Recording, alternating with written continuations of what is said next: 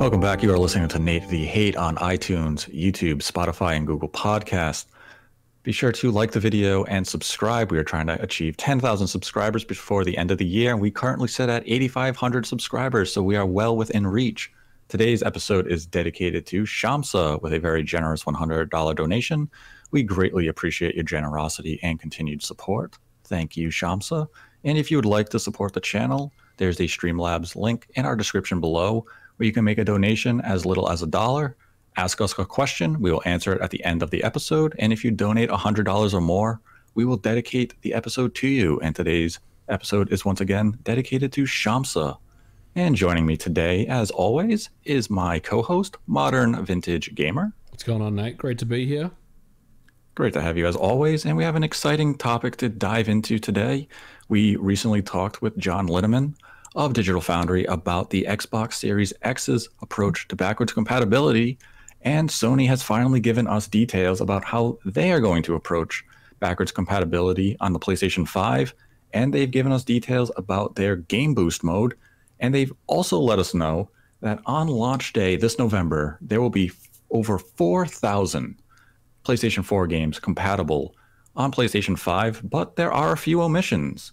That's right there are 10 PlayStation 4 games that will not be playable on the PlayStation 5. And mostly these games aren't anything of any significance. They include titles like DWVR, Afro Samurai 2, TT Isle of Man Ride on the Edge 2, Just Deal with It, Robinson The Journey, We Sing, Hitman Go Definitive Edition, Shadwen, Joe's Diner, and the only one of really any significant loss is Shadow Complex Remastered.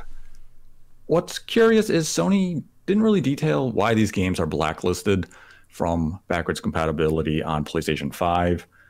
Shadow Complex Remastered is really the only one that stands out to me as a case of that's that's a shame. It's a really it's a damn good game. It's a good game. Yeah, absolutely.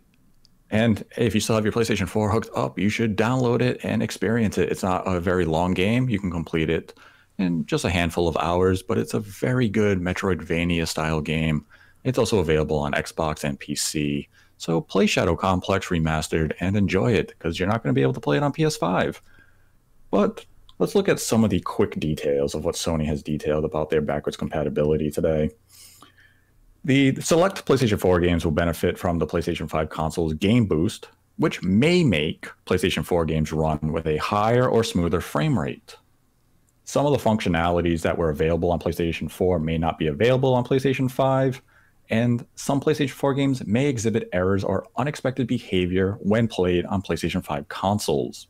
Sony does advise that before you purchase add ons to play with your PlayStation 4 games on your PS5, try to boot the game and play your PS4 game on your PS5 first to see if you're happy with the experience.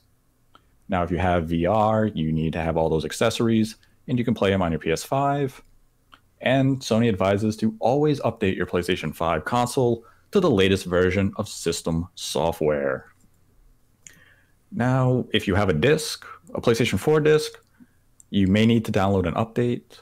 It will then put a, you'll have a game hub for your game homes. This sounds like maybe Sony gave us a little idea about the UI of PlayStation 5. And you will need to keep the disc inserted each time you want to play a game on your PS5 whenever you play that PlayStation 4 game. You obviously can't use PS4 games or PS4 discs on the digital edition for obvious reasons. It doesn't have a disk drive. Now, you can transfer games from the PS4 to a PS5 using Wi Fi data transfer, or you can do it directly from PS5's extended storage drive. And I do assume you can download your PS4 games right to a PlayStation 5 from the PlayStation Store. Now, some PlayStation 4 games will be eligible for PS5 versions. We've seen this with things like Cyberpunk, and I believe Activision's detailed a couple of things are the new Mortal Kombat 11. They just talked about that this week, where if you have Mortal Kombat, you can upgrade it free on your PlayStation 5 if you so you kind of already got that. Microsoft has a similar thing with smart delivery. Your PlayStation 4 games are compatible with DualShock 4 on PlayStation 5. You cannot use the DualShock 4 to play PS5 games, though. PlayStation Move and the VR aim controller are all supported, and peripherals like the arcade sticks, flight sticks, anything that's officially licensed will work on PS5. Now, there are some limitations, but it seems like it's mostly related to the controller and the use of the share button or just minor things, maybe like the camera. So, nothing too in depth there.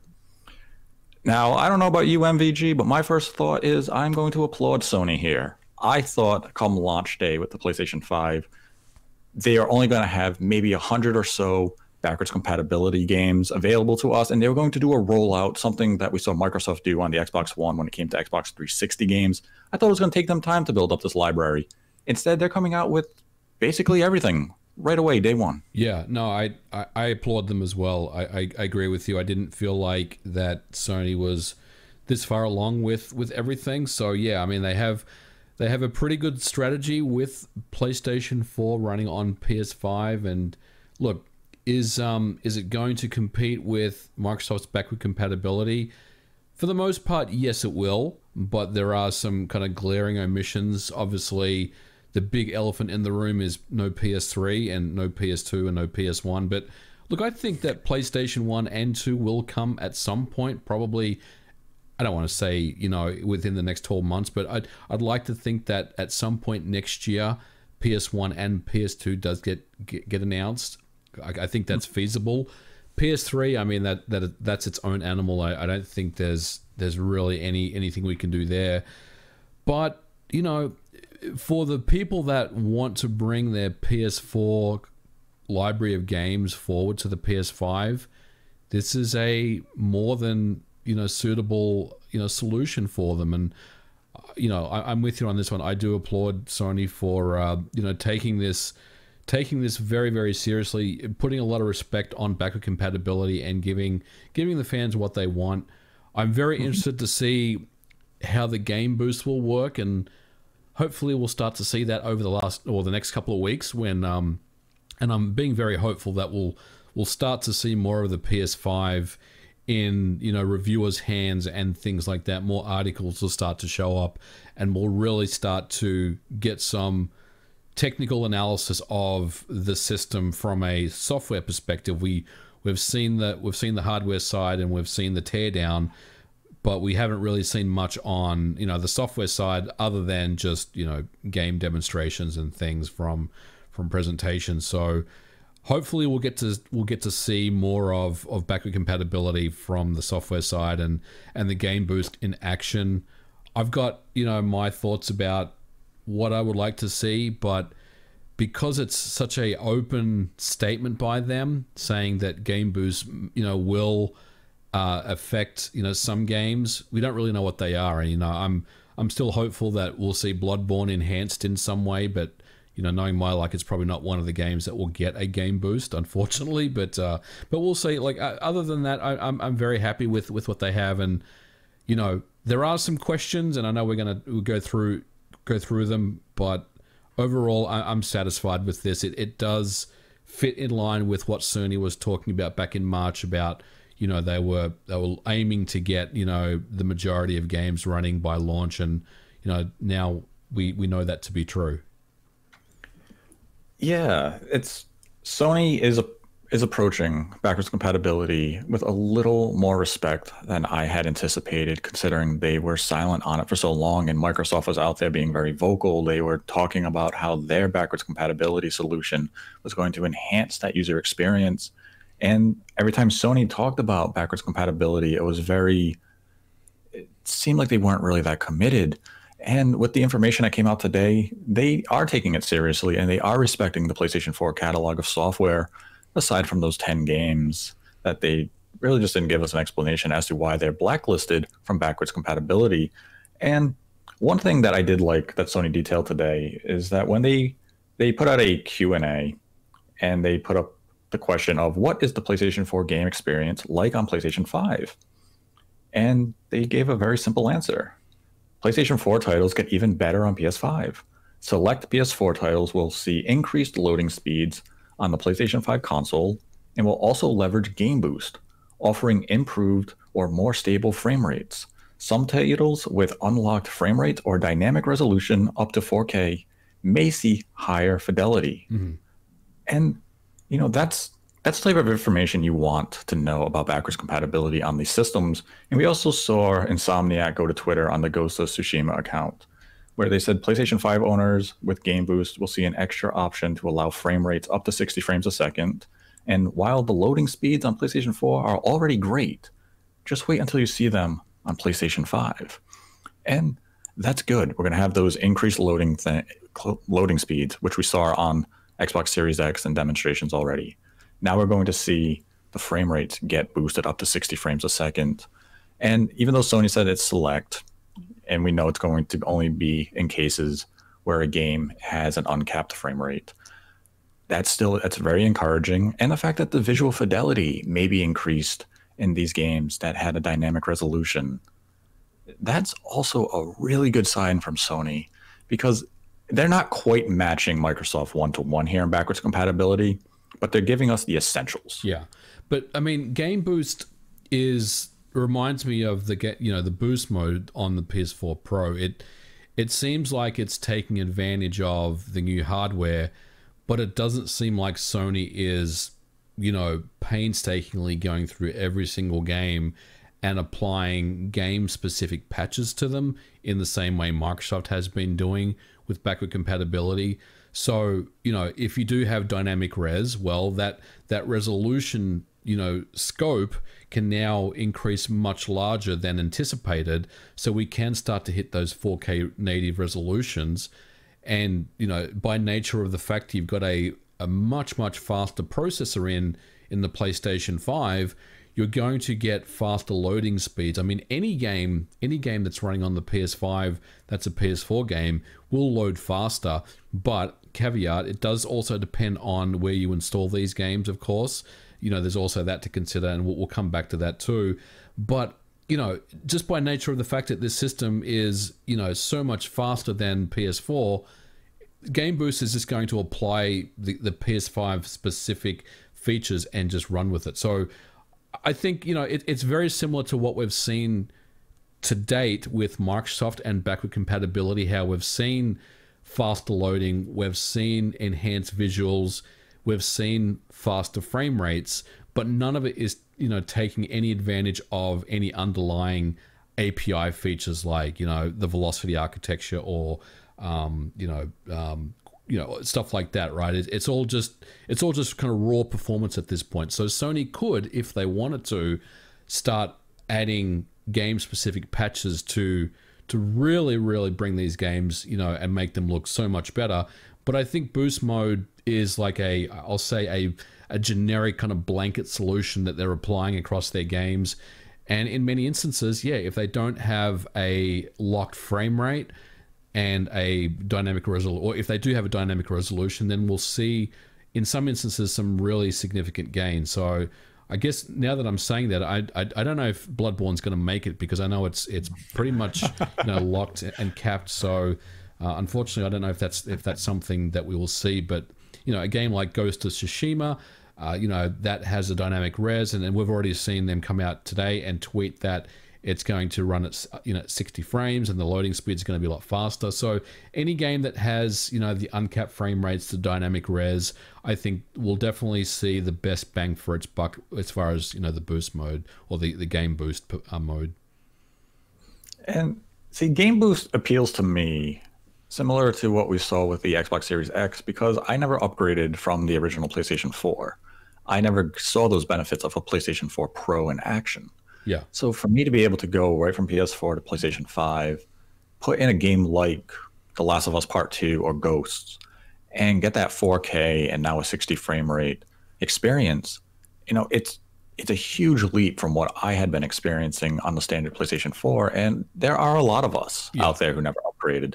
So this is exactly kind of what you want to see. And it is similar to like the PC route as we talked about in the prior podcast about the Xbox Series X it's you're upgrading the hardware you're going to get these benefits of the increased loading times now we're getting better frame rates we're going to get better resolution in some cases and you know it's it's exciting to be a gamer to upgrade and see all these benefits because in previous generations when you had backwards compatibility you might have gotten some minor improvements here or there, but it also depended on how the backwards compatibility was handled. Like in the case of the Wii U, I believe it had Wii hardware right in the system. Yep. So you didn't really get any benefits because it wasn't taking advantage of what the Wii U system itself offered. It was just you're playing a Wii game. Yep. Or even when you played PS2 on PS3, it was still just a PS2. It wasn't upscaling to HD or anything.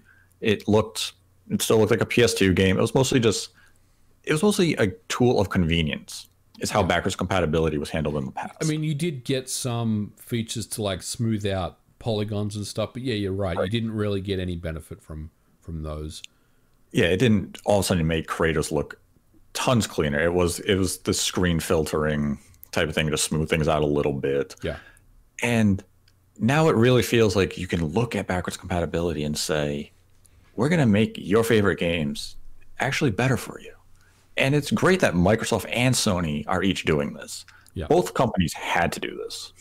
So I got a question for you, and, and just hear me out on this one. So Microsoft showed off a very impressive backward compatibility lineup. We saw Digital Foundry cover it. Jeff Grubb, friend of the show, covered it as well. We saw Final Fantasy 15 running at, I don't want to say a lock 60, but a pretty close to lock 60 at 4K with the uncapped frame rate. We saw Sekiro running at a almost lock 60 at 4K. Those games are going to take advantage, I believe, right, with uh, of game boost because you know by nature of those games they are they have those modes where you can have an uncapped frame rate and they have dynamic resolution. So in theory, we will see both Sekiro and Final Fantasy 15 running on PS5 with very similar visuals, hopefully the same visuals as the Xbox. Now, yes. what do you think is going to let me let me rephrase the question. Do you think it's a blow to Microsoft if Sony demonstrates both Sekiro and Final Fantasy 15 with game boost enabled with a better performing frame rate over the Xbox Series X? Ooh. Um, I guess it would come down to what the difference really is. Like, if we're talking like a 60 frame locked on PS5, yeah. and maybe the Xbox Series X occasionally dips to like a 56, mm-hmm. 58. If it's something that's discernible enough to the player to say, I can notice this, it could be a little rough for Microsoft because they've been touting backwards compatibility as such a big feature to the Series X and their product line. And if Sony did come out and surpass them in that means, it does complicate their marketing message. And I guess technically it is possible because we know the PS5 does have a faster SSD. It has, I believe, a faster CPU. It does. It's just got it's got more raw power, right? So in theory, it should load a little faster and it should run a little faster. But again, you know, there's a lot more factors at play here, and I want to be very clear that I'm we're just speculating. We have no idea. We don't even know if these games will take advantage of Game Boost, but I'm assuming they are, and I, I think I think Sony could really take the fight back to Microsoft with with these games that they've been showing off, that Microsoft has been showing off, and I think if if that's true, then it's going to be very interesting, you know, to see how that goes. Yeah, if I were Sony, I would probably be looking at some of that coverage that Microsoft had put out there of these backwards compatibility games and look at some of the more demanding games and just find those handful of games that maybe didn't hit 60 and stay locked at 60 that may have had a dip here or there and put it in the PlayStation 5 and release a video yeah. and say on us we're locked. And you can really shape the marketing message around that if you wanted to. Now, I mean, these systems are so powerful. They're such a huge leap over the PlayStation 4 Pro and the One X that we could be realistically looking at a situation where there is no difference yeah. because the games were designed for last gen in mind, and this leap to the next generation is so big that these games are going to run without problem. Mm-hmm. But in the case if there is a game, just for this, you know, the example we're discussing, absolutely, Sony should take the bull by the horns there and say we can handle more demanding games at 60 frames a second. Now, maybe Microsoft can come out and say, but we have the higher resolution. Right. Yeah. It's it could be that type of game where where your benefit is, I also have a benefit, so it's a wash. Do they have a higher resolution though because they are using their own AI upscaling, or is it because of the nature of it's just a, a dynamic resolution game, so it, it, does you know hit those 4K True. Resolutions? I mean, we, we, we're not questioning Microsoft's backward compatibility, especially when it comes to Xbox One, 360, and OG Xbox. Sony mm-hmm. has literally no, no response to those. But if we're talking about last generation, then the the fight between Microsoft and Sony may be a lot closer than we we, we, we believe because I think Sony has enough here to really compete with Microsoft's backward compatibility. Yeah, I think when, we, when we're looking at the current generation of PS4 and Xbox One, it seems like Sony and Microsoft might be standing toe to toe with each other, where Microsoft's benefit is really coming in to the original Xbox and Xbox 360, where we've seen videos like Jeff Grubb had his video up where they showed the auto HDR and Banjo Kazooie nuts and bolts.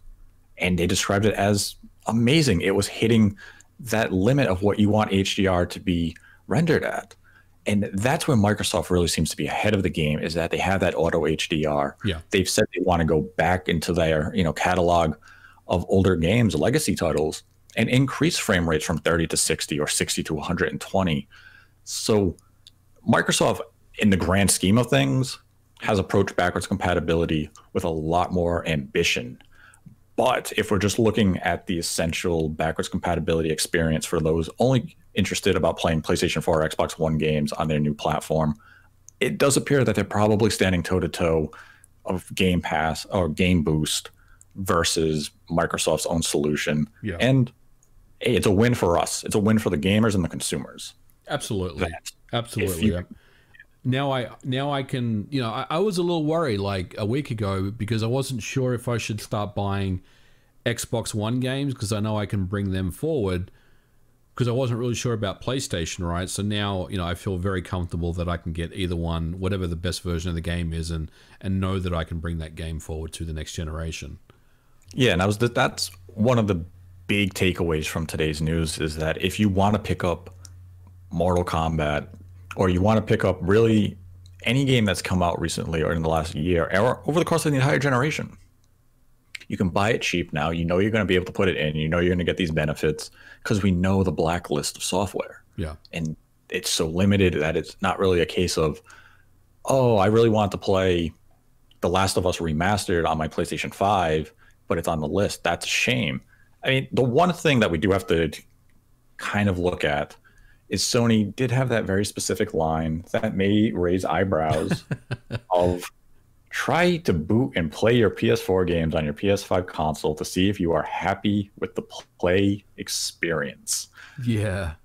Yeah. I mean, that's very. What does that mean? Exactly? I, I, don't know. I mean, I, I think it means. Uh, well, I mean, the way that I, I look at that is testing 4,000 games is a. I mean, think about it. How long would it take? How long would it take a team of 100 people to test 4,000 games? I mean, that that is a commitment, right? Um, let alone, you know, a team that big. It's not. It's not going to. It's not going to be anywhere near that many people. It's probably a team of like 20 people, maybe, testing these games. So, I think what they're basically telling us here is while care has been made to test everything. We can't guarantee that these games are going to to be playable in that we haven't actually finished playing all these games because we simply don't have enough time to do so. And I think that's that's just due to the nature of this particular year being the way it is. We know that both the consoles are coming in pretty hot. You know, we, we still have a lot of questions on the Sony camp from, you know, okay, we've seen the hardware now and we've seen some influences, you know, using the PS5, but there's still a lot of questions about the PS5. We haven't seen it boot up. We haven't seen the OS. We, you know, there's things like that. So I just feel like they they're, they're kind of behind schedule as far as backward compatibility. They haven't tested everything. They have good confidence on the the functionality itself, but I think that's just a, a disclaimer to to let you know that hey, we haven't tested everything and some things may be a little glitchy, so just bear with us. Yeah, hopefully that's all it is. I mean, it would be a shame if you went into, you know, you don't want to go into a game that you were really looking forward to. And I'll use a bigger game just as an example. Like, I'll say Horizon yeah. Zero Dawn, just as an example. And you go into it, and all of a sudden the game is a glitchy mess and it's running like the Steam version did, where things aren't rendering correctly. Right. characters and physics are all over the place. You say, what happened here? And you know, if it is a limited amount, and it, it seems like Sony really just viewed this as we blacklisted the games we know do not work. We whitelisted the rest, but there might be a few here and there that may have a bad player experience. It's up to you if you can handle it or not. Yeah. So, you know, we'll find out as it goes on. In out of 4,000 games, how many are people really going to be playing in backwards compatible mode? I mean, I'm sure the ones that matter, the ones that people really want to dive back into, it'll be games like, you know, Destiny, Monster Hunter World, Sony's published titles. Those are all likely to function fine. It is interesting. I mean, it's a lot of it is around perception, right? And mm-hmm. having something, ha- having a feature because you have a feature, right? Like, there's a lot of market research that that discusses, you know, how how many people use backward compatibility, right? And I think that's one of the reasons why Sony didn't really give it as much attention in recent times as they did maybe in the earlier days. Obviously, PS3 technical issues aside, but you know they've always looked forward, and you got to respect that. I mean, they've they've been very successful with that. So how important is backward compatibility? It's like it's like that feature, right? Like no one wants anything taken away from them. You know, like they they want that feature, but how many people are actually going to be playing PS4 games on their PS5? I mean, most of us are going to be playing Demon Souls and Ratchet and you know all the games that come out for it.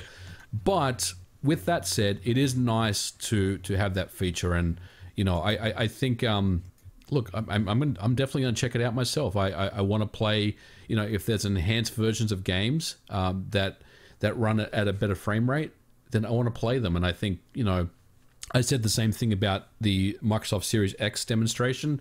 If there are if there are games out there that do you know take advantage of a game boost that do run at a lock 60 that kind of used to you know bother me enough where I'd stop playing the game then I will give them another go so having having that is, is, is a cool thing but going back to the the exhibit errors and unexpected behaviors message, I think the biggest unknown is what does that really mean? You know, does that mean it's, you know, frame rate stutters, glitches, audio issues, you know, flickering, color grading issues? I mean, it, it could really mean anything. And hopefully that will be something that we don't get to see a lot of. It'll be the outlier or the, the exception to the rule but it will be interesting to see, you know, what what that means. I, I do think that they are very much aware that players are going to stumble across these things um, pretty early on. Yeah.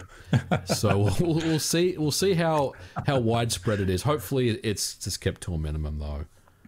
Yeah, like I kind of wonder if it would be a game. I'll use Batman Arkham Knight as the example because I believe that game was a 30 FPS locked, but it did have a frame rate that dipped quite consistently. Yeah. And now, feasibly on the Xbox Series X and PlayStation 5, it should stay at that 30 pretty locked, but the city should render quicker. Yes. We shouldn't have, like, you know, the pop in should be more limited.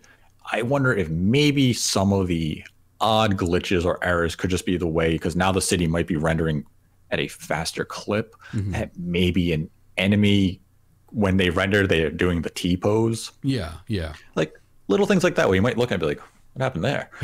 and if it's only things like that, it's not that big of a concern because there are a lot of games on PlayStation 4 and even on the Xbox One that I hadn't picked up over the course of the generation because there were reports that oh the performance was bad and yep. One game I'll use an example of because it is notorious for its performance is RiME.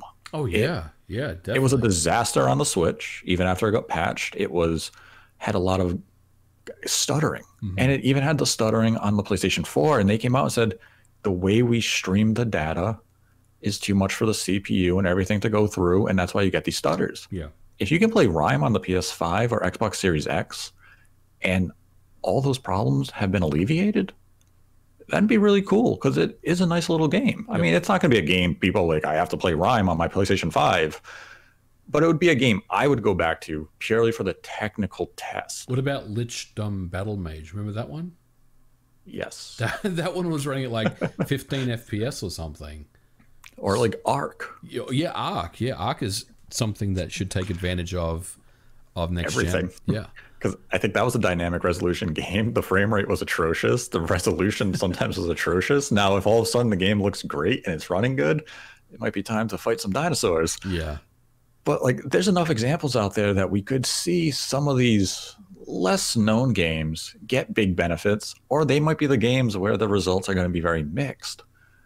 And I mean, I'm happy Sony's game boost mode is quite similar, or if not exactly similar, to the game boost mode that we saw on PlayStation 4 Pro and how it handled PS4 games. Because it's encouraging Sony did adopt that again, and it's going to be a little more fleshed out, and we're going to get a better user experience for these games. So, you know, I applaud them. And one thing that might be overlooked by some, but it did stand out to me, and I have to give Sony applause for this as well, is when they put out the list of games not compatible with just those 10 games. I'm glad I didn't see any of their bigger games on that list. And by that, I mean like The Last of Us Part 2 Yes. or The Last of Us Remastered, because a concern of mine was that they were going to limit those games to the next gen remastered version and uh, not allow you to play the Right, older like- version on it. Yep. No, I agree. I my concern was they were going to artificially just kind of block those, and mm-hmm. they haven't done that, which is which is fantastic. Yes, because we kind of saw it on the Xbox uh, Xbox One, where some of the trilogies that were getting remastered weren't backwards, didn't have backwards compatibility on the Xbox One. You could, I mean, you could still play the games on your Xbox 360 if you chose to, but whenever these publishers decided to remaster the game, it seems like they conveniently chose not to allow backwards compatibility for the current generation. And I'm glad that we're not seeing that here. Like, I can play Spider Man on my PlayStation 5. We already knew that. And if I want the remastered version, I can pay for it.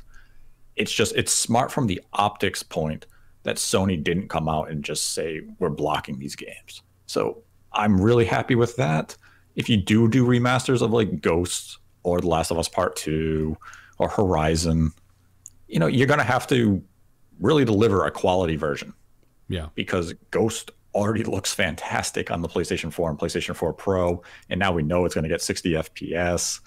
So you really kind of have to come with some big improvements if you're going to do a remastered version of that, and that's good mm-hmm. because now a company can actually sit down and say, is it worth us doing this remastered version, or should we focus maybe on the sequel or making DLC for a game? It's not all about taking away resources to make the remastered version because now you you're getting that best performance, especially if your game's already coded Yeah. to get a better FPS or better resolution. So I'm really happy with that. That was a concern of mine, and it wasn't specific to Sony. It also went for Microsoft, and it will go for Nintendo moving into the future. You can't give these companies benefit of the doubt that they're going to do something right by you. If they can make money, they will block a game from you, and they will re-release it if they can because they know you'll buy it again. Mm-hmm. So, thank you for that, Sony. and I mean, right now, of the two companies, Microsoft and Sony, who would you give the edge to overall approach to backwards compatibility? I, I still think it's Microsoft, and simply because they have, you know, previous generations covered for us, and you know we know that they they run OG Xbox, Xbox 360, XBLA games, Xbox One, Xbox One X. But I also, you know, want to see what Sony has as far as from a technical standpoint when we start to see these these games being being shown to us. But I also do think, and I, I feel very strongly about this, that I think we will see PS1 and PS2 come at some point. I don't know when it will be, but I, I, I do think it's on the roadmap for PS5. Like it, it would be, it would be something that Sony would be thinking about incorporating, and they probably didn't have enough time to get it in for the launch of the PS5. But I just feel like it's something that they can pretty much add without too much, you know, too much work involved to get mm-hmm. those those environments into the PS5. And that, you know, once once that is in place, then all of a sudden we've got a real fight on our hands. Right now, it's it's a fight, but Microsoft holds the cards here with backward compatibility, no question about it. But I don't think Sony's too far away. And if if what they show us with Game Boost and the PS4, and hopefully these these you know one-off glitches isn't a something that kind of just cripples the the experience in many instances, then I think you know they're definitely not far away. So, but to answer your question, Microsoft is, is the is the leader at this at this time. Yeah, I would agree with you there. I'd give Microsoft the edge, and the edge is, as you said, it's due to the legacy software of the original Xbox and Xbox 360, and the inclusion of auto HDR in a lot of these backwards compatible games, and the idea that they are looking to make games on the original Xbox get frame rate boost, add HDR, and you know they just want that extra step. Both are approaching backwards compatibility with you know nice, nice, well thought out planning. It's just Microsoft went the step further because the Xbox One generation was a disaster for them. They had to create an incentive to make the Xbox Series X stand out, and they're using their legacy to do it. And that's exactly what you want to see from a company. They were pushed into a corner and they said, we have to rethink things. Let's do this. And it seems to be working well for them. Sony, I'm just glad Sony did come out and put in the effort that we had expected of them. Had they come out and had they done a rollout, it would have been okay if it meant every game coming out was perfect. Yeah. We didn't have technical glitches or anything like that. I would have been satisfied with that. But to come out 4,000 games day one, bravo. Yeah, we're going to have those minor inconveniences here and there. But as long as people approach this with realistic frame, you know, realistic expectation, I think Sony's in a really good spot. I mean, we're still looking at a situation where if the game did have a fixed resolution or a locked frame rate on PS4 or PlayStation 4 Pro, it's going to look and run the same on the PlayStation 5. It's just going to have better loading times. It's not going to magically make every game perfect. And that's the same as the Series X.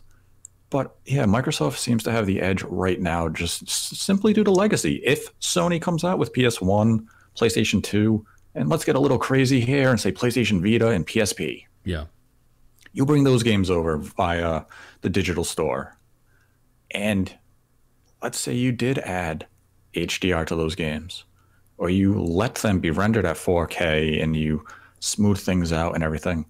Then I'm kind of looking at Sony in a different light, saying, wow, you guys actually went back through that legacy. You're respecting the Sony brand, and the PlayStation brand from day one, and you're giving fans that full experience. We'd have to revisit the conversation. Yeah. But right now, Microsoft is looking at their past and they're saying, let's bring it to let's bring it to the modern era. Let's make people enjoy it and let's make these games look like they belong in 2020. Yeah. And that's really encouraging. Absolutely. I guess the uh, the other um, discussion is about the storage. So you can install these games obviously on the internal SSD, which I think will obviously give you the best loading speeds. We saw again the demonstrations of the Series X running on the internal SSD, and you could see that the loading speeds were significantly cut down over the Xbox Series X, or sorry, the Xbox One X. The same will apply for the PS5. You can install games on internal storage, of course, and as well as any external storage that you may attach via the USB port. But I think, again, you know, the experience on external will really come down to what type of drive you have. If you've just got a a real cheap, you know, USB 2.0 drive, it's probably not going to load any faster than the PS2 version. Uh, and I'm not really sure what Sony's going to do here. Maybe they will put a, a, a cap on how low of a spec SS or uh, external drive you can attach to the PS5. Maybe they just tell you, look, we need we need something that's USB 3.1 or 3.0 or faster supported. So you can't just put in, you know, your old, you know, thumb drive from like five years ago and expect it to, to load, you know, in, in 15 seconds. So I, I think they're going to do something like that. But what are your thoughts about you know loading games from external storage? Do you think Sony's going to regulate you know what drives you can attach to the the the PS5? Because we haven't really heard much about you know their their strategy there at this time. I'd imagine they would probably limit it to at least 3.0. If I remember right, I'm sure someone will correct me in the comment section below if I'm wrong. I believe the Xbox One, when it came to external, required you to have a 3.0 external hard drive. Mm-hmm. So I envision that both of the companies, when it comes down to external support, are going to make it at least 3.0 because you do want to have some sort of speed Yeah. to at least, you know, you don't want these games loading forever. You want a decent clip through USB memory distribution. So Right. 3.0, 3. you know, 1 is the speed you'd want to target if because I I'm definitely going to use an external drive for legacy software. I'm not going to take up the like I'm not dedicating a large chunk of my SSD, which is limited on both of these systems, Yeah. to backwards compatibility support. I will use unless it's a game where I really want to sit there and say this game had atrocious load times. Let's speed this thing up. Right. In those cases, I'll dedicate the SSD, but like we have to look at the available SSD just out of the box on PlayStation 5. It's just over 660 gigabytes. That's, I mean, even current gen games, we're looking at roughly 10 games will fit that. There, there are some big PS4 games that will Mm-hmm. eat up a, a huge chunk of that space. I mean, GTA 5 is is one of them. Obviously, Yes. The Last of Us Part 2 is a very big game as well. There are, there are a lot of Mm-hmm. big games on the PS4. Yeah, I mean, we'll get into the discussion of storage in a future topic. It's it's a problem for both systems moving forward, and it's unfortunately going to make itself known pretty much on launch day, Yes. especially if you're going to be playing backwards compatibility. Because let's just say you pick up Demon's Souls day one.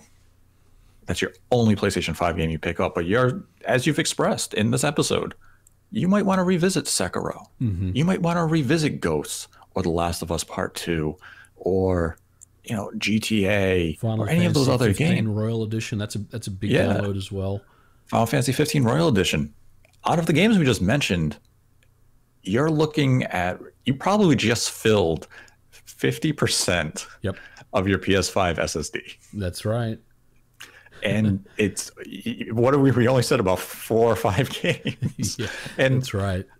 I mean, the situation is the same as the Series X. It's just it's just the unfortunate reality, and it's I I'm kind of shocked we're still in a situation where we have to clean out the fridge to Yeah. play these games. And is it any shock to you that the games being played backwards compatible that they cannot be read with the disk drive? I don't I don't know the disk drive speed of PS5 and Series X versus PS4 and Xbox One. hmm Is it any surprise? Like, are they identical? No, like shouldn't no. Um, I mean, I know that they, they both use SATA drives, but I, I'm not really sh- up to speed on the actual you know specs of them. But yeah, I mean, uh, th- there's really no surprise there with me. I mean, I think you know you, you definitely nailed it in that you know buy buy an external a fast external USB 3.1 drive SSD for for anything that's not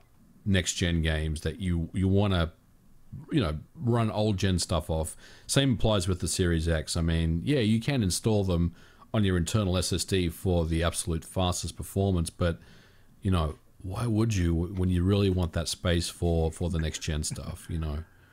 Yeah, I mean, I guess the real benefit would just be you're gonna get those loading speeds faster. yeah. And if again, I would only do it if the game had really lengthy load times, like something like Final Fantasy 15. yeah You don't want to wait those minute and a half, two minute load times. You pop that thing on your SSD because you want to play that in the best way possible. Because if not, you may as well just kept playing it on your PS4 Pro or you know Xbox One X. But if you're like me and you never upgraded, even just playing on the external drive, yeah, I can deal with the load times. I want that performance. You know, I want I want those visuals. yeah absolutely I want I want I want all that. But it is an interesting question because how many external drives are you going to hook up to these things? Like we're talking right now, we're going to have an external drive for backwards compatibility. yep We have to buy an SSD yep and for both Xbox and Yeah, PlayStation 5. We have to increase our storage. You have to buy an M2 drive to put into the M2 slot, which will be PCI 4. It's probably going to be the Samsung 9800. I know that we're very close to getting confirmation about what drives are compatible. Microsoft has their solution as well, which is the Seagate drive. And we just heard the other day that you know it's there's more different configurations that are coming, which is good. Yes. I mean, I think that's that's that's the way we want it. But yeah, I mean, either way, you, you oh, still Man. are going to be paying a lot of money for any external storage that that you yeah, want to run next generation I mean, on. I mean, we can get an external USB drive for they're not expensive. You get a terabyte drive for what, sixty bucks? Yep, something like that. And now, when you get the SSD for the PS5, we saw Western Digital put out one. If you get the SSD with a heat sink, I believe it's two thirty. Yep. And that's for one terabyte. They will have a two terabyte one available early next year with a heat sink. I think it's about 450. And we know the pricing of Microsoft's the only one known right now. It's what? It's 220? Two I think it's 210 for the Or 210. Yep. And Microsoft did come out. Where they said we are doing other configurations where third parties can make them in different sizes. They can do their own pricing. So there will be some range. We can only operate under the ones that we know of right now for the discussion, obviously. And we're still waiting on Sony to give a whitelist of what drives will be compatible with the PlayStation 5. So don't go out there and buy a three you know gigabyte per second SSD because you think it's going to work on your PlayStation 5. It's been advised the PS5 needs at least a seven gigabyte per second SSD. Yeah. And those are and that's why we're looking at $200 plus.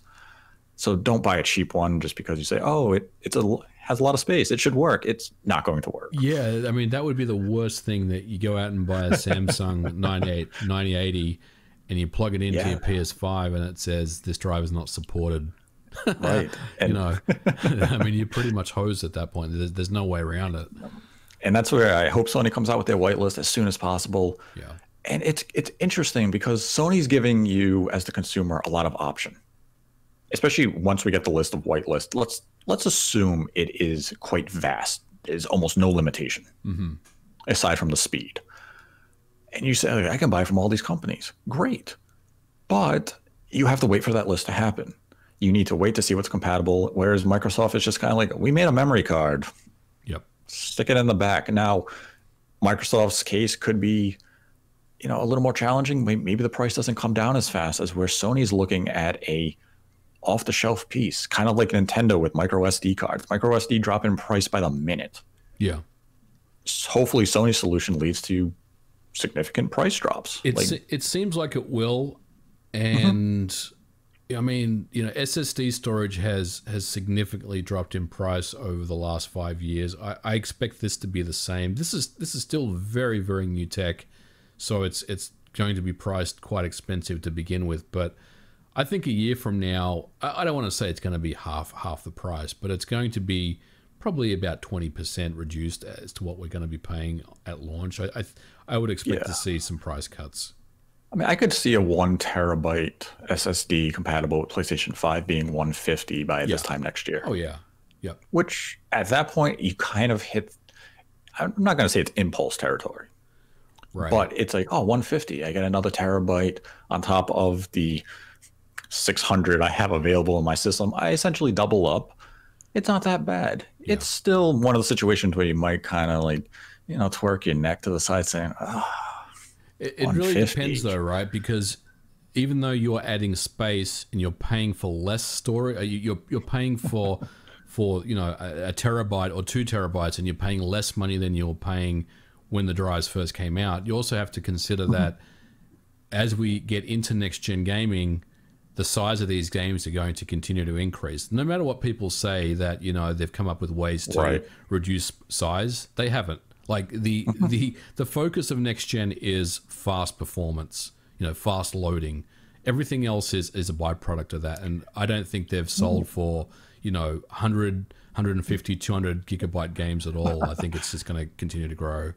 That's a good point. Every generation, we typically see the advent of a new paradigm for gaming. With 360 and PS3, it was HD with PS4 and Xbox One, I would say it's viewing the systems as more of a service. Yep. In some ways, and now we're looking at it as its speed. Yep. We're looking at the removal of load screens. That's right. And that seems to be the focus of this gen. And unfortunately, it's going to cost us, the consumer, potentially significant amount of money, and that's a topic for the future that we will address once we get a whitelist and stuff from Sony.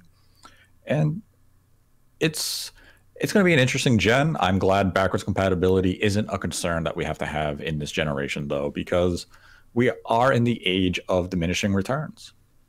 Games still look fantastic. I mean, we have to look at the games Sony put out just this year with Ghost and The Last of Us Part 2. They look phenomenal. No one's going to look at that game and be like, that's ugly. If you do, you have high standards. but yeah like moving into the PS5 and Xbox Series X, the big shift in design is going to be the removal of loads and the basically no pop in mm-hmm. and just a vast world that you can continually explore without any stutter. And you know, visual fidelity is rising, but you're going to start noticing that character models aren't that different. And I'll use Spider-Man remastered just as an example. They changed the face of Peter Parker, people got outraged, whatever. But when you really look at the model closely, you can see the improvements here and there. Mm-hmm. Would you look at it and say that's a gen? That's not a generational leap, right? It's yeah, it looks better. And but the important thing is New York City's seamless. Yeah, that's the that's the change in game design. That's right. And yeah, we got to buy some hard drives. We got to buy at least four. Yeah, I think people are going to be spending more than three ninety nine slash four ninety nine for for now, next gen. Here's a question for you and everyone listening. Would you have rather paid six hundred dollars for these systems and had, we'll say, two terabytes SSD by default, or bought them at the prices now of four hundred dollars, three hundred dollars if you're buying an Xbox Series S, or five hundred dollars for the PS5 and Xbox Series X, and having one terabyte. In the case of the PS5, Sony opted to use a 800 gigabyte mm-hmm. SSD. Would you rather have had a two terabyte one and maybe spent a hundred dollar plus, or have what they're offering you and saved yourself a little money in the, and you know, at the initial yeah. state? It, it's a good question. I, I'm probably leaning towards the way it is now, only because, like we we touched on the price of external storage won't stay constant. It, it should decrease over time.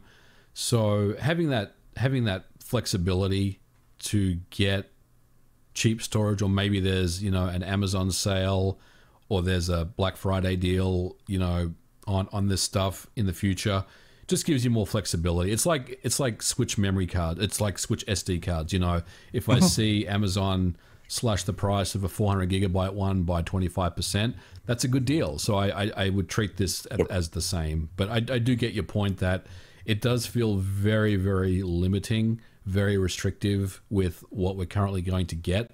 But I, I think I can work around it. As someone that generally plays one game and I'm focusing on one game, maybe I have another one, you know, loaded as like the the the backup game when I want to take a break. I'm not really going to tax the internal storage as much as maybe some families that have, you know, kids or two kids or uh, parents with two kids that have one system and they want to put Minecraft and all sorts of different games on there. That may be an issue, you know, for, for those people that, you know, that want to play, you know, multiple games on the one console. But for someone like me, I can, I can definitely get mm-hmm. around it. Yeah, that's a good point. I mean, maybe we can view storage as the belt yeah. of our uh, gluttony of game consumption. It's it's true. Be careful. Like I'm playing five games right now. I only have 10 gigabytes left. Maybe I should finish one of these before I buy a new one. It reminds me of the days where you would load up MAME and put a whole bunch of ROMs on on your emulator. you, would never play any anything, you know. But if you if you find your best three or four games, you'll play them yep. and enjoy them one at a time. But if you just have a collection of everything on a drive, you kind of just it's like Netflix. You, you you're flicking through it, but you don't pick anything, and then and then you just yeah. you pick something that you've already played before or something. You know, it's, it's you have yeah, you almost have too many options that nothing's appealing to you. Yeah, so I'm Whereas, fine, I'm fine with the with the limited storage. I, in fact, in some ways, it, it it kind of you know it it conditions me better to be more selective about what I want to play on on the systems. That's a good point because as we've seen, software prices are rising, so you're probably going to be a little more selective when it comes to the games you're buying day one. And now you have the storage, so you might be a little more selective of, you know, am I going to pick up what game am I going to pick up immediately? And you know, if I am playing, we'll just use Demon's Souls as an example. Yeah. If I am playing Demon's Souls, do I really need to pick up the next game? Oh, you know, I should finish the game I have, and then I'll pick up that new game. Yeah. I, you know, limit. You don't need a backlog. Everyone gets into the backlog flood, and you sink into it. And hey, maybe this will. If you're forced to spend 250 bucks on a SSD, you might say, you know what? Let me finish some of those games I've been buying first, and I'll just delete them when I'm done. Yep. But I mean, space is going to become an issue. It's a topic we will address in the very near future, though. Yeah, I definitely think there's more more conversation there, especially when we get more into what solutions both Microsoft and Sony will have for us from an official capacity. You know. Absolutely, and one thing I, I had just thought of it now, and it's something I wish we would have asked John Linneman on last episode, is does the is auto HDR or any of the benefits that the Xbox 360 games are getting, if that's increased the file sizes at all? I mean, you would think so because there's an AI uh, component to that, so they're applying mm. some type of HDR to that image. And as you know, there are some games that don't have auto HDR because they felt like it it was detracting from the visual quality of the game. So yep. yes, it would have it would have some impact on storage. We don't know what that is, of course, but absolutely, I think there is there is you know uh, a component there that does apply more storage for auto HDR games. That will be something I have to investigate a little deeper before we talk about the storage wars for these consoles in an upcoming episode. yep. And let's go into some of the Streamlab questions this week because we do have several we had a $3 donation from OT Archmage, who writes, Hey there, Nate and MVG. Just wanted to say that you two have the sexiest voices in gaming. And as soon as your intro jingle plays, I know I'm in for a good listen. No question. Just keep up the good work and rock on. Thank you. Here we have sexy voices. oh, yeah. then we had a dollar donation from Jack E.G., who writes, the Series X is currently not launching with a single physical game, only Xbox One games that support smart delivery. Do you think this will change before launch, and could this be a first for a new generation?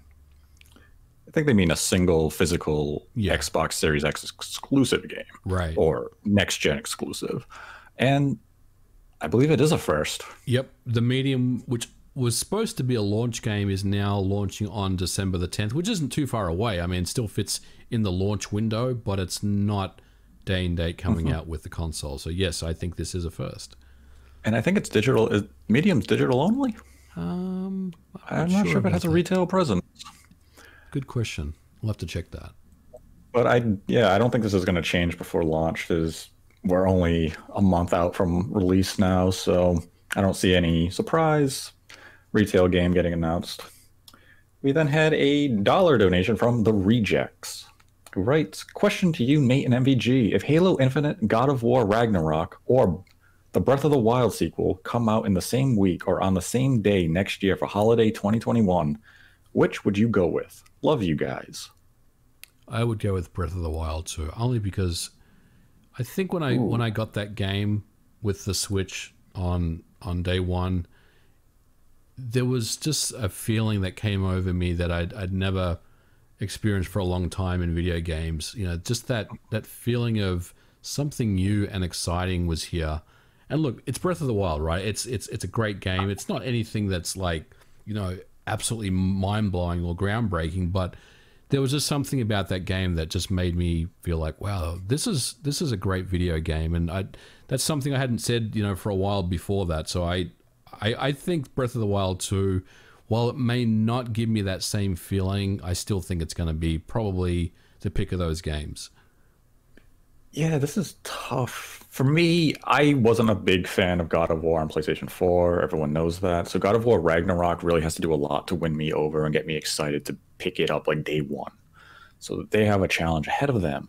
Halo Infinite, I really like the gameplay demonstration that we had earlier this year. I like the direction that they were going with the gunplay, but I still have the questions of just how the game unfolds. And Breath of the Wild sequel is kind of how you brought up. The first game was such a breath of fresh air. That's not a pun. and, and it was so exciting just to explore the world of Hyrule and discover how you can go at you know certain obstacles and challenges like just on the plateau the plateau was one of the best tutorial sequences in a game i've ever experienced and when i was talking to my friends because if you remember early on you had to climb the mountain mm-hmm. yep and how you got up that mountain how you found a heat source nobody i knew did it the same way some of us just ate hot peppers yep. and just was burning up inside until he could get up there others did the hot challenge where you actually got a pelt so you could stay warm. Others said, I just lit a torch and I walked up the mountain. Mm-hmm. I was like, mm-hmm. I didn't even know you could use a torch as a heat source. Like it makes sense in real life, but why would a video game do it? Right. My thing with Breath of the Wild 2 is will it deliver that same wow and yeah. magic that the first one did? Because sequels, you always run into that where it's like, it's still great. You just lost that edge. And we don't know anything about Breath of the Wild 2 right now. Yep. So our trailer, we know Ganondorf died or is sealed. I need to see some gameplay first, but of the three, yeah, Breath of the Wild is probably my answer just because it's Zelda. I love Zelda. I mean, if people looked at my Twitter recently, I just bought a Link to the Past Killian Eng artwork, and it's absolutely gorgeous. So I, I love Zelda, so I'm to say Breath of the Wild 2, but that's not to diminish Halo Infinite and Sony, you just gotta you gotta convince me with God of War Ragnarok because I didn't like your direction with God of War PS4. Then we had the hundred dollar donation from Shamsa, which this episode is dedicated to. Again, thank you for your generosity and support as always, Shamsa. We then had a five dollar donation from YPCS26. Love the podcast. You and MVG do an amazing job. Look forward to every episode. Is there a reason why you don't actively participate on the Spawncast? I know most viewers would appreciate getting more of your insightful and informative opinion there. You want to take that uh, one? I I do actively participate on the Spawncast, and yeah, I mean, I'd say in the last month or two, I have perhaps limited my participation on certain topics, and it's only due to if you look at comments made during the live broadcast, there are people who are basically they tell me to shut up, that I don't know what I'm talking about, that my opinion is invalid, that I don't play games or I don't know what I'm talking about. So, you know, I I've decided to kind of take a step back and let those people have what they want. If we have this show here where has some have gone into the comments and said Spawncast is the party. Mm-hmm hate with MVG is the adult table. This is where I come for the insightful conversation. This is where I come for the information and walk away with some entertainment and good, you know, inf- info. So it's not that I am consciously saying I'm just not going to address these things on Spawncast. It's just that after a wave and wave of people badgering and telling me to not say things on certain topics, I've just I've decided to kind of just I'll pick and choose which topics I really want to address on the Spawncast, but it's it's not a matter of me not wanting to actively yeah. participate. It's just I'm just not going to voice an opinion on every matter. Yeah, I, I, I, agree. I mean, I think the Spawncast is a different show than ours. Obviously, entertainment is is its main purpose. Obviously, going through some stories. Quite honestly, there are some stories there where I don't really have much of an opinion on, and you know, I don't want to specifically talk about what they are, but there are some games that are discussed, or there are some topics that are discussed that I really don't don't know much about. So in those situations, it's just best to uh, listen to the other other fine folk on the cast. You know, talk about what they what they know about that particular topic. But you know, as far as you know, some topics usually around the technical side, I usually have you know my my thoughts on on the show, but got to be respectful of the fact that it's it's not um, it's not the Nate the Hate show. It's it's the Spawncast. So we we want to you know keep keep going along with with what John's talking about as well. So. Yeah, and as MVG brought up, you know, it is a big cast on the show. Everyone there is going to have an opinion on a matter, and sometimes when I'm listening to somebody's opinion, I may agree with what they're saying, and I just don't feel the need to reiterate it again on the show.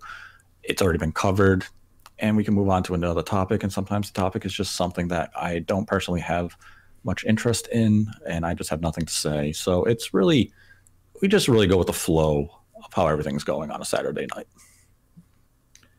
And then we had a $3 donation from Alex, who writes Hi, Nate and MVG. Great discussions. Love the channel.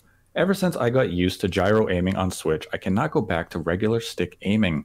First person shooter is an important genre for me, so I feel like next gen consoles are not for me. Would like your thoughts. I identify with your plight here. I think gyro aiming on Switch is one of the premier features of the platform. And as I've said in a previous episode, I was very disappointed that Microsoft had not implemented gyro in their Xbox Series X controller because gyro aiming with the Pro controller and games like Doom, Wolfenstein 2 are exquisite. They're fantastic ways to play the game. And it's odd that the PlayStation 4, the DualShock 4, and I believe the DualSense, they have gyro options.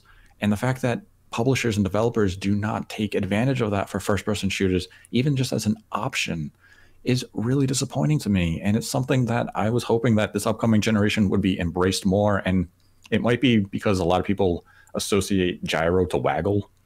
Yeah. And it's just, it's not true. It's as close as you're going to get to kind of a mouse style control for a first person shooter on a home console. And I wouldn't write off the whole next gen simply due to the lack of gyro. There is still a chance maybe Sony can push for it in some games, or if the publisher sees there's demand for it, it could happen. Let's hope it does. But I completely understand where you're coming from with that stance. We then had a $10 donation from Robin, who writes, You guys said you felt a storm is coming to the game industry. I feel it too. Dev costs are rising while wages stagnate. I don't think $70 games are the solution. I fear devs will interpret poor sales as a lack of interest instead of cutting costs. Well, I can tell you that devs won't see that ten dollar increase in their in their wages. I mean, I think that's all going to end up in the publisher's hands. So yeah, I I I, I agree that that you know the rising cost of games isn't isn't the answer necessarily. Right, and that's the thing. The the rise in software costs aren't related to the developer. It's the publisher wanting to increase their profits. Mm-hmm. And that's the thing. There is a storm coming. You're going to have developers, hopefully, especially in America, they begin to unionize and they are able to fight for better benefits, to better working conditions. And if it does, if that does lead to a valid $70 or slightly higher game cost to ensure that the developers have a better living wage and better hours and better overall management, then we should see it happen. But there's so many, there's a lot of uncertainty in this industry. This industry may have simply, it may be at a breaking point where it has to consolidate in some way. Everything has to eventually shrink. You can only blow up so big before something happens, before you shrink down in size. And it seems like the gaming industry is kind of hitting that. You can look at development studios like Ubisoft, who has what do they employ? Something like twelve thousand people. Yeah, worldwide. Yep. It's that's a massive, massive company. Twelve thousand people, and unfortunately, when you do see some of these layoffs hit, it's simply because they overexpanded at a time of great success, and then once things kind of slowed down, they have to sit say we have to trim fat, and that leads to the layoffs. Mm-hmm. And it could happen this gen, but I would say definitely within the next five years, we're going to see a lot of changing in the game industry, especially as companies look to services to make more money. We see EA do it, Microsoft's doing it. You have like the Disney Plus type streaming services; those are going to extend to gaming. So something will happen. Hopefully, hopefully it's for the better and not the worse. But we'll find out. Robin then followed up with another $3 donation, who wrote, I'll keep this one brief. New Star Fox when? Or any word on a Star Fox Zero Deluxe, removing Wii, Wii U gamepad controls could make that game a solid 9 out of 10. Wait a minute. The Wii U gamepad controls made that game a solid 9 out of 10. and I will defend Star Fox Zero controls. I did see till my dying breath. I did see Dylan Cuthbert tweeting that he wants to make another Star Fox game recently. Here's hoping. That would be because Dylan Cuthbert's last involvement was I think he did Star Fox 64 3D. Yep. And then he did did he do Star Fox Command on the DS? He he did, yes. Did that. So it'd be great to take helm of a new Star Fox game. I don't think we see Star Fox Zero Deluxe come to Switch. It would require a lot of reworking, and if we look at Nintendo's deluxe efforts, they're not exactly big fans of reworking a lot of aspects of the game because this isn't a Pikmin 3 situation. Star Fox, you know, was designed with the Wii U gamepad and the secondary view in mind, and I love that game. I think it was a true sequel to Star Fox 64 in every sense. And I hopefully we see a new Star Fox. I mean, we're probably looking at let's say Dylan got green light today. Probably wouldn't see it until 2022. at maybe, least, at least, maybe right? early 2023. Star Fox Collection. They have 64 and um, the Wii U game and maybe the the GameCube version. Hey, they got the ah. emulators. Uh, might as well put out another collection, right? All right, let, us explore that for a second. we have Star Fox. We have Star Fox Super NES and Star Fox 2 on Nintendo Switch Online right now. Yep. Then we have Star Fox 64. Yep. We have Star Fox Assault. Mm-hmm. We have Star Fox Adventures. We then have the DS game Star Fox Command. And then we have Star Fox uh, Zero. Of all those, what would you put in the collection? Oh, I'd probably put. Hmm. Ooh, I'd probably put sixty-four, zero, okay. and okay. assault. Really? Yeah, I think so. You know, uh, I'd, I I agree with that trio because Adventures wasn't a Star Fox game. Star Fox yeah, in the title. That's kind of its, that's kind of it's it's it's it's kind of like Metroid Other M. You know, it while it's yeah. there's nothing wrong with it, it's fine. It kind of sits apart as the odd man out or the odd person out. You know. Yeah, it's yeah, it's like the Federation force. you just don't count it. Yes. Um. Yeah, it's yeah. I think I would agree with that trio if you were making a Star Fox collection. It's not disrespect to Adventures. It it was an average Zelda clone. Yeah. But yeah, that's not a bad. I wouldn't mind that. One Star Fox anniversary. Yeah, let's do it. Let's do it. Remember Star Fox Nintendo. Nintendo, if you're listening, let's let's greenlight it. Let's greenlight it right now. MVG will handle it. and that will conclude today's episode of Nate the Hate, talking about the PlayStation 5 backwards compatibility, how it compares to Microsoft, and some Star Fox hopes. I'd like to thank MVG for joining me as always. Always a pleasure. Thanks for having me on. And if you enjoyed this episode, give the video a like. If you didn't, give it a dislike. Let us know your thoughts on Sony's backwards compatibility versus Microsoft in the comment section below. And if you'd like to support the channel, we have our Streamlabs link in the description as well. Donate a dollar, ask a question, we will answer it. Donate $100 or more, we will dedicate the episode to you. This episode was once again dedicated to Shamsa. And until next time, continue to embrace the hate.